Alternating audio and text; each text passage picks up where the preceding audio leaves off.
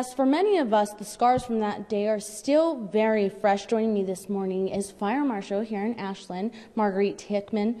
You guys are holding a very special ceremony this morning here at Fire Station 1. We are. We're holding a remembrance ceremony for those who lost their lives at 9 11 at uh, the World Trade Center collapse. And why are ceremonies like this still important 13 years later? You know, I think this is uh, an event that's really something that, one, we feel we need to honor those that were lost. You know, there were over uh, 400 first responders who were lost also. And so that's one reason for us. But I, I also think that it's important for us as a nation to remember that this actually happened.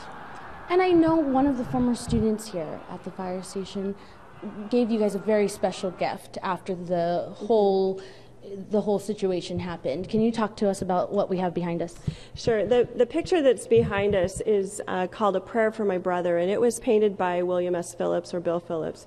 And he's actually an Ashland native, world renowned artist, but um, after 9 11, uh, he was really inspired to paint this picture.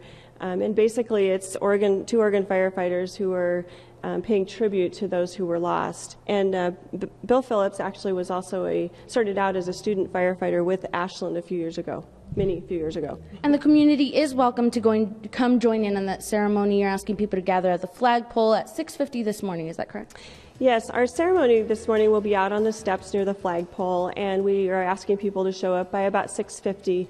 Um, it will start at 6:58 and go through a, a, moment of silence. We'll have a traditional bell ceremony and um, just a time of remembrance. Perfect. We're going to have much more. We're actually going to show you a piece of one of the World Trade Centers in just a bit. Stay with us.